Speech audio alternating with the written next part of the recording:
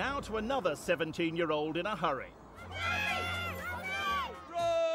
Is not for sale. Wolves were always facing an uphill struggle to keep hold of their Irish goal scoring phenomenon. Sure enough, a couple of seasons after being handed his debut by Mark McGhee, the former Crumlin United schoolboy was sent to Coventry. Curle forward, good touch from Goodman. Keane gets a chance, and that's a lovely goal for Wolves. Well, it's been coming, and it's young Keane who gets the goal. Robbie Keane after 34 minutes. Back to Atkins. He's got a bit of a dig as oh, and that's a lovely ball to Keane in space.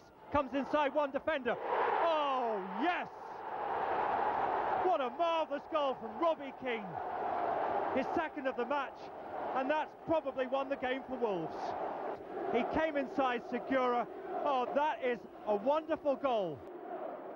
Tell us about the, the young lad who scored the two goals. We didn't know too much about him before the start. Well, I think you know about him now.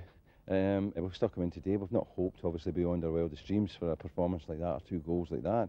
Uh, I think that'd been too much to ask for. But um, in a sense, it hasn't surprised us that uh, he's been able to, you know, uh, come up with something like that.